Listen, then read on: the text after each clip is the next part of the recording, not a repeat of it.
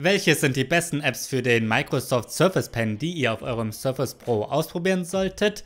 Einige spannende Funktionen sind hier in Windows 10 eingebaut, aber wenn ihr handschriftliche Notizen aufschreiben möchtet oder etwas zeichnen wollt, dann braucht ihr schon eine App dafür.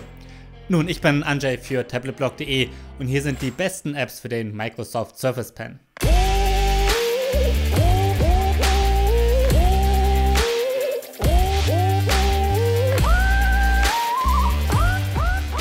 Übrigens, die meisten Apps funktionieren sehr gut mit dem Microsoft Surface Pro 6, dem Pro 7 hier, dem Surface Go und den Vorgängern, aber auch mit dem Surface Pro X. Einige sind damit aber nicht kompatibel. Beginnen wir mit einigen Apps, die zur Grundausstattung gehören. Die erste App, die ihr nicht täglich nutzen, aber zumindest kennen solltet, ist die Surface App. Mit der könnt ihr sehen, welches Surface ihr genau habt. Wenn ihr mit eurem Gerät Probleme habt, könnt ihr von dort auch das Surface Diagnostic Toolkit herunterladen. In der App wird auch angezeigt, wie viel Energie noch in der Batterie des Surface Pens steckt.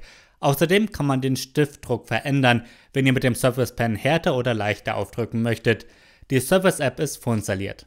Mit der App Ausschneiden und Skizzieren könnt ihr einen Vollbild-Screenshot erstellen oder aber etwas von eurem Bildschirm ausschneiden. Habt ihr das getan, könnt ihr Notizen oder Zeichnungen zufügen und mit Stiften, aber auch mit einem Lineal arbeiten. Die App kann man über das Startmenü starten, per Tastenkürzel aus Windows-Taste, Umschalt und S, sowie per Doppeldrücken mit der Radiergummitaste des Surface Pen. Das könnt ihr den Einstellungen anpassen und auch dieses Feature ist ein Teil von Windows 10. Für schnelle, kurze Notizen könnt ihr die Kurznotizen benutzen, die ebenfalls in Windows eingebaut sind. Die findet ihr entweder über Startmenü, aber standardmäßig auch, wenn ihr die Radiergummitaste des Surface Pen lange runterdrückt. Das ist eine sehr einfache Notizen-App und wir schauen uns komplexere später an. Nützlich ist die hier nur für kurze, schnelle Notizen, daher der Name Kurznotizen. Normalerweise benutze ich Chrome als meinen Browser und ich kenne kaum welche, die mit Edge wirklich zufrieden sind. Spannend ist Microsoft Edge aber dann, wenn ihr Webseiten beschriften und speichern möchtet. Das funktioniert nämlich besser als mit dem Screenshot-Tool, da ihr in Edge die ganze Webseite mit Anmerkungen versehen könnt. Wichtig zu wissen ist, dass ihr mit Edge auch in PDFs handschriftliche Notizen und Zeichnungen einfügen könnt. Wer das nur ab und zu mal tut, braucht dafür also keine extra App. Edge ist kostenlos natürlich und vorinstalliert. Windows 10 kommt standardmäßig mit einer Karten-App. In den meisten Fällen bevorzuge ich Google Maps, aber ab und zu kann die Karten-App von Microsoft für einige interessant sein, nämlich dann, wenn ihr zu einer Route Anmerkungen hinzufügen möchtet. Viele brauchen das möglicherweise nur ein paar Mal im Leben, aber wenn ihr Veranstaltungen plant, könnt ihr so gut Notizen zu Karten hinzufügen. Oder aber wenn ihr Kartenmaterial für eine Präsentation benötigt. Gut, kommen wir zu den besten Notizen-Apps. Die in meinen Augen beste Notizen-App für Windows und insbesondere für Surface-Nutzer ist Microsoft OneNote. Über die Cloud bleibt OneNote immer synchronisiert und es gibt gute Apps für Android und iOS. In OneNote könnt ihr beliebig viele Notizen in beliebig vielen Abschnitten sortieren. Notizen können handschriftlich oder per Tastatur aufgeschrieben werden. Ihr könnt aber auch Sprachnotizen aufnehmen, Bilder einfügen und etwas abfotografieren. Microsoft Surface Pen wird in OneNote sehr gut unterstützt. Immerhin ist es eine der wichtigsten Apps für den Stylus. Wie gesagt, ihr könnt damit handschriftliche Notizen aufschreiben, man kann aber auch gut Formen zeichnen, sogar Diagramme und es gibt ein Lineal. Nützlich ist, dass man handschriftlichen Text in Computertext umwandeln kann. Für Schüler und Studenten ist auch interessant, dass es Mathematikfunktionen gibt. Ihr könnt beispielsweise Gleichungen ausschreiben und OneNote daraus Graphen zeichnen oder aber die Gleichungen lösen lassen. OneNote ist komplett kostenlos. Ich finde, der Einstieg in OneNote ist sehr einfach. Wenn ihr aber alle Funktionen kennenlernen wollt, lohnt es sich mal bei YouTube nach Anleitung zu suchen. Eine Alternative zu OneNote ist Plumbago, das ebenfalls kostenlos ist. Auch das ist eine Notizen-App, mit der ihr verschiedene Notizbücher mit beliebig vielen Seiten führen könnt. Plumbago ist nicht so komplex wie OneNote und hat nicht so viele Funktionen, doch dafür ist die App einfach zu lernen und man findet sich sehr schnell zurecht. Die App könnt ihr im Microsoft Store herunterladen.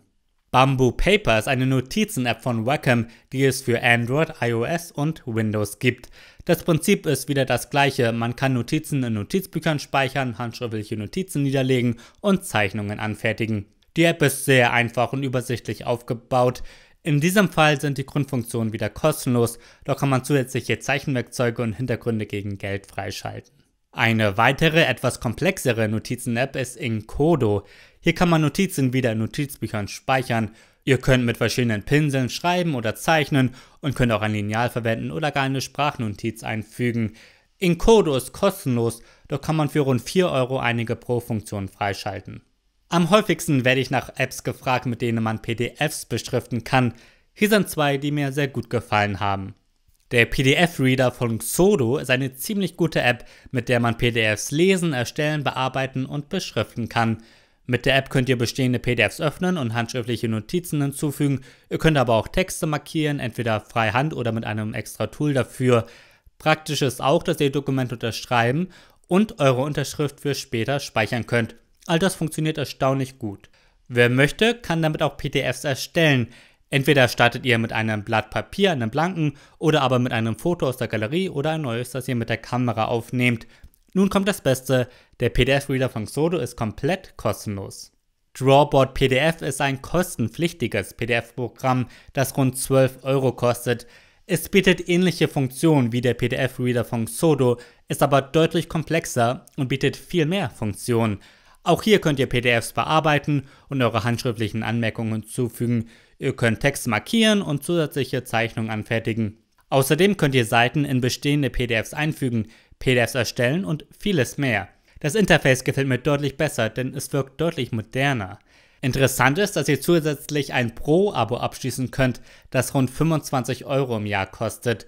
Dann bekommt ihr auch Funktionen wie einen digitalen Winkelmesser, kalibrierte Messwerte und einen Document-Builder. Ich denke, das lohnt sich nur, wenn ihr bereits wisst, dass ihr das beruflich braucht. Schauen wir uns ein paar gute Zeichen-Apps an. Eine der besten Zeichen-Apps für das Surface Pro ist Sketchbook von Autodesk, das komplett kostenlos ist. Der Surface Pen wird sehr gut unterstützt. Mit verschiedenen Pinseln könnt ihr druckempfindlich zeichnen und malen und natürlich beliebige Farben auswählen. Es gibt Hilfsmittel wie Lineale, solche runden Lineale und sogar Funktionen, mit denen ihr zwei Seiten synchron zeichnen könnt. Das sieht so aus, als wäre ein Spiegel in der Mitte. Nützlich ist auch, dass wie in Photoshop Ebenen unterstützt werden Probiert Sketchbook mal aus. Ich finde, die App ist richtig gut umgesetzt. Ich denke, damit wird man auch professionell gut zeichnen können. Sie funktioniert mit dem Surface Pro 7 und allen Vorgängern, nicht aber mit dem Pro X. Wenn euch Sketchbook nicht gefällt, könnt ihr euch Sketchable anschauen.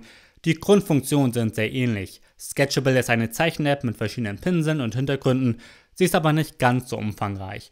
Und für einige zusätzliche Funktionen muss man das Premium-Paket freischalten, das knapp über 25 Euro kostet. Nicht ganz so umfangreich wie Sketchbook ist die App Fresh Paint. Dieses Malprogramm ist eher zum Spaß haben, denn es gibt nicht ganz so viele Werkzeuge. Hier könnt ihr hauptsächlich mit Pinseln Ölgemälde malen, aber auch mit Bleistiften zeichnen. Das sieht ganz schick aus.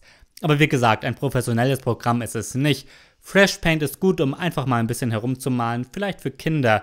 Die App ist kostenlos und es gibt sie ebenfalls im Microsoft Store.